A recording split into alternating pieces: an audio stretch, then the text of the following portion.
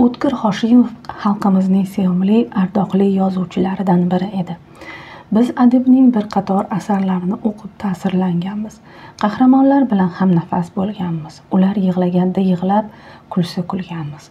Yozuvchining mahorati tufayli biz asarning ich ichiga kirib mohiyatini anglaymiz. O'tkir hoshimov o'zining betakror asarlari bilan adabiyot muxlislarining qalbiga cho'x solgan edi. Esimda ilk marta o'qigan katta kitoblarimdan biri o'tkir hoshimovning ikki eshik orasi asari edi. Bu asar qalb torlarini cherta oldi. Adabiyotga mehrimni yanada kuchaytirdi. Insoniyat boshiga ne ne balolaru sho'rishlarni solgan la'nati urushning dahshatini chuqurroq anglashga undadi. Tabiiyki tinchlik betakror va asrab avaylanishi lozim bo'lgan bir ne'mat ekanini e'tirof etdim. Yana shuni ham angladimki urush nafaqat katta yoshlilar yoshlar yoxud go'daklar hatto tug'ilmagan insonlarga ham baxtsizlik g'avg'o keltirarkan. Urush ajdaho kabi barchani birdek o'z domiga tortarkan. Hech kimga shafqat qilmas ekan. O'tkir hoshimov urushdan keyingi va urush yillarini shunday mahorat bilan tasvirlaganki o'qigan odamning eti junjikib ko'ziga yosh keladi. Ikki eshik orasi romanidagi har bir qahramon o'ziga xos bir olam. Asarda har bir qahramonning o'z o'rni o'z vazifasi bor. Romanda biror qahramon yo'qki urushdan jafo chekmagan bo'lsa. Ular urush davrining qurbonlari jabrdiydalari eng avvalo qora amma haqida gapirib o'tsam bu ayol haqiqiy o'zbek ayoli oilasi bolasi uchun yashab o'tgan dunyodan yolg'izgina farzandi jangga ketadi-yu bedarak yo'qoladi. Qaytib kelmaydi. Bechora ayol bu vaqt davomida yolg'iz suyanchi hamrohi bo'lmish eridan ayriladi. Taqdir unga nisbatan shafqatsizlik qiladi. Qora amma qalbining tub tubida bor haqiqatni ya'ni o'g'li endi hech qachon qaytib kelmasligini bilsa-da umid bilan kutaveradi. Juda uzoq kutadi. Ammo ko'nglidagi umid shu'lasini so'ndirmaydi. Zero bu umid uni hayotda ushlab turgan, yashashga undagan yagona ilinj edida. Axir qaysi ona farzandimning shamchirog'i so'ngan deya olardi. Shuni ham e'tirof etish kerakki, qora amma irodali, matonatli, mushfiq ayol. Tutingan qizi va o'g'li bir-birini sevishini eshitganda quvonib ketadi. Unashtiruv marosimini o'tkazadi. Biroq la'nati urush onaning quvonchini zaharlaydi. Yillar o'tsa-da o'g'lidan darak bo'lavermaydi. Ukasining azoblanib yurganini ko'rgan qora amma robiyani uni berish robiyani unga berishga qaror qiladi. Bu oson emas edi albatta. Lekin qora amma xudbinlik qilishni robiyaning o'g'lini kutib yolg'iz o'tishni istamaydi. Shunday qilib ikki baxtsiz yuragi xun kimsaning hayoti yo'lini bog'laydi bu ishi bilan u o'g'liga uning sevgisiga xotirasiga xiyonat qilayotganini anglasada o'zga jor topolmaydi. Ikki eshik orasi romanida qora amma singari hayot achchiq chuchuklarini obdan tortgan yana bir ayol bor. U robiyadir. Munis vafodor mehribon ayol. Eng yaqin kishilaridan ayrilgan qiz o'zga oilada qo'nim topadi. U yerdagilarga o'z oilam deb mehr qo'yadi. Qora ammani ona husan dumani bobo deb biladi. Ularning o'g'li kimsanni esa sevib qoladi. Shubhasiz kimsan ham robiyani jondan ortiq ko'rardi. Bu ikki yoshning muhabbati sof va beg'ubor zig'irchalik g'araz yo'q edi. Afsuski beshafqat taqdir la'nati urush ularni bir biridan judo qildi. Robiya garchi sevgisiga hamisha sodiq qolgan bo'lsa-da tog'a deb yurgan odamiga turmushga chiqishga majbur bo'ladi. Kichkintoy muzaffarning onasiz qiynalayotganini ko'rib qolaversa qora ammaning qiyin qistovlari sabab rozi bo'ladi. Bu og'ir judayam og'ir edi. Ammo robiya taqdirning bu sinovlariga ham bardosh berishga o'zida kuch topa oladi. Muzaffarning barcha injiqliklariga qaramay o'z farzandidek tarbiya qiladi. Bor mehru muhabbatini bag'ishlaydi. Robiya bag'rikeng ayol. Muzaffarni tashlab ketib shomurodga tegishiga sababchi bo'lgan ra'no kelinoyisidan bir umr nafratlanib o'tishi kerak edi. Rost ilk lahzalarda ya'ni ra'noning shomurodga xiyonat qilayotganidan xabar topganda yomon ko'rib qoladi. Jirkanadi undan. Ikkiyuzlamachilikda riyokorlikda ayblaydi.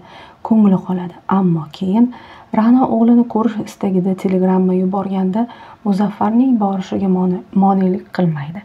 Qaytaga o'zi sovg'alar berib jo'natadi uni. Bu uning bag'ri kengligini isbotlaydi. Roman qahramonlari orasida fe'l atvori og'ir ziddiyatli insonlardan biri shomuroddir. U fidoyi inson. Urushdan nogiron bo'lib ammo orzu umidlarga to'lib qaytadi. Chunki suyuklisi ra'no uni umid va sog'inch intiqlik bilan kutayotganiga amin edi. Biroq uning muhabbati vafo topmadi. Bu hayotning unga atalgan og'ir zarbasi edi. Shomurod gangib qoladi g'azab otiga minadi hatto xotinini so'yib tashlash niyatida bo'ladi.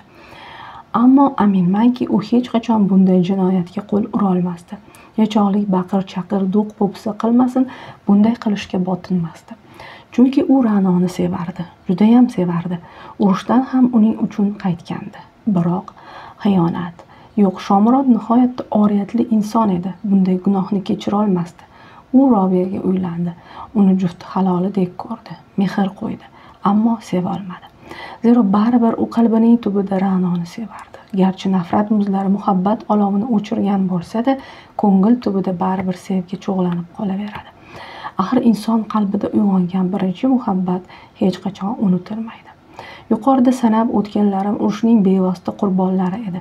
Ular yetarlicha azob chekdi ammo bechora muzaffarning aybi nima edi? U nega urush qurboni bo'ldi?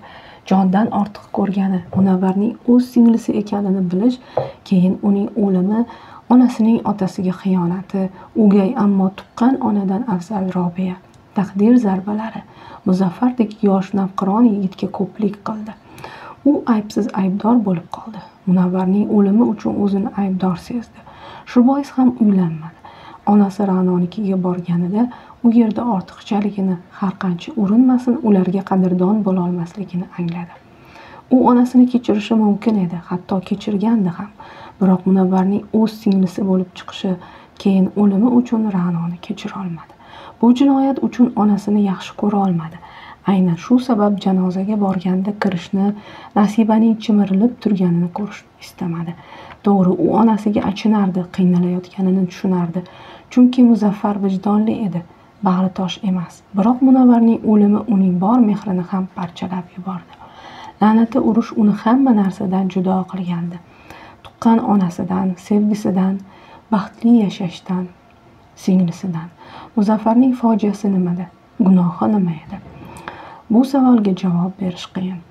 Ikki eshik orasi romani shu bilan qadrliki voqealar hayotiy qahramonlar samimiy obrazlar murakkab syujet rang barang ziddiyatli vaziyatlar ko'p uchraydi. Asarning fojiaviyligi uning qadr qimmatini yanada oshiradi. O'quvchini o'ziga jalb qiladi. Kitobni mutolaa qilgan odam zerikmaydi. Qaytaga tobora asar ichiga kirib boraveradi. O'tkir hoshimovning boshqa bir asari meni bundanda ko'proq hayajonga soladi. Bu asar dunyoning ishlari qissasidir. Asarni o'tkir hoshimov barcha onalarga bag'ishlagan biroq unda o'z onasining siymosini aks ettirgan. Bu asarning hayotiy qiziqarli chiqishiga hissa qo'shgan albatta.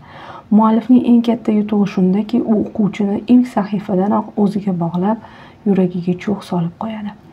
O'pkam to'lib o'zimni tutolmayman. Birdan tush kabi uzuq yuluq xotiralar yopiriladi. Yuragim gursillagancha o'rnimdan turib ketaman. Bu qissani ilk sahifasidagi jumladir. E'tibor beringa bu satrlar kishi diqqatini darrov jalb qiladi qiziqtiradi. Yurak gursillashining sababini bilishga undaydi. O'tkir hoshimov yozuvchi sifatida hamisha tesha tegmagan iboralar o'xshatishlarni topadi. Masalan ehtimol osmondagi eng yorqin yulduzlar onalarning jonidir. Ehtimol onalarning so'ngan yulduzlari birlashib quyoshga aylangandir. Oftobni ona deyishlari ehtimol shundandir. Oftob ona yulduz ona. Yo'q ona oftob uning mehr nuri farzand dilini yo'lini yoritib isitib turadi. Adib buni his etadi anglaydi. Onalarni oftobdan-da yuksak deb biladi. Dunyoning ishlari qissasidagi poshsha oyi obrazi asar markazida turadi. Barcha voqealar odamlar bevosita yoxud bilvosita unga bog'langan. Poshsha ayol halol mehribon munis mushfiq ayol. Farzandlari uchun jonini berishga tayyor o'zini o'ylamaydi hammaga joni achiydi birovning diliga ozor berishni istamaydi. Hatto qalloblar munofiqlarga ham ishonadi yolg'on gapiryapti degan o'yni xayoliga keltirmaydi. Bag'ri keng ayol erining qizini sargardon izlab topadi otasi bilan topishtiradi. O'gay onalik u yoqda tursin tuqqan onasidan ham ortiqroq yaxshilik qiladi. Yana bir voqeani esga olaylik. Poshsha oyning baldog'i yo'qoladi bir poya. Izlab topolmaydi shu ish ustiga kelib qolgan qaynigachisi uni folbinga sudraydi folbin qo'shni ayol sepkilli xolani ko'rsatadi. Tabiiyki janjal boshlanadi. Yuz ko'rmas bo'lishadi biroq baldoqni qo'shni ayol olmagan edi. O'zini gunohkor his qilgan poshsha oyi baldog'ini sepkilli xolaning keliniga salomda taqib qo'yadi. Vaholanki bu baldoq unga qaynonasidan meros bo'lib qolgandi. Bir og'iz uzr so'rash bilan qutulib ketsa ham bo'lardi. Yo'q poshsha oyi bunday qilolmaydi zero u nihoyatda halol olijanob inson edi. Qo'shnisining qalbiga yetkazgan ozorini yuvishni istaydi. Poshsha oyi sodda o'zbek ayoli birovning dardiga befarq qarolmaydi. Hammaga ishonaveradi. Masalan bozordagi echki voqeasini olaylik. Dallolning yolg'on gaplariga chippa chin ishongan sil bolaga rahmi kelgan poshsha oyi echkini arzon bahoga sotib yuboradi. Bu bir tomondan uning yumshoq ko'ngilliligidan darak bersa ikkinchi tomondan molparast dunyoparast emasligini ko'rsatadi. Hokisor ona hammaga yaxshilik qilishni istaydi. O'tkir hoshimov qissani katta mahorat bilan yozgan. Asar bir o'qishda o'qiladi. Kitobxon qalbini larzaga soladi. Qahramonlar hayoti bilan yashashga majbur qiladi. Voqealar ortidan ergashtirib ketadi. Qissaning muvaffaqiyati shundaki his tuyg'ular samimiy va haqqoniy yoritilgan. Hech qanday yolg'on yashiq yo'q. Bilaman dunyodagi hamma onalar yaxshi. Shundoq bo'lsa ham, ularning hammasi sizga o'xshashini xohlayman. Bular asarning so'nggi jumlalari. So'nggi va eng ta'sirli jumlalari. Zero aynan shu jumlalar asarning butun mohiyatini syujetini maqsadini aks ettiradi va yakuniy xulosani beradi. Dunyoning ishlari aytish mumkinki onalarga bag'ishlangan onalar haqidagi eng yaxshi asarlardan biri. O'tkir hoshiyev barcha asarlarida jumladan nur borki soya bor. Tushda kechgan umrlar romanlarida ham halollik diyonat sadoqat haqida gapiradi. Shu hislatlarni topishga va yo'qotmaslikka undaydi. Adibning barcha asarlari inson dardu iztiroblarini aks ettiradi. Inson qalbining tubidagi nozik sirlarini talqin etadi va hamisha inson bo'lib qolishga undaydi. Menimcha adibning yutug'i muvaffaqiyati ham shunda. Zero adabiyotning eng muhim vazifasi insonlar qalbiga ezgulik tuyg'ularini sochishdir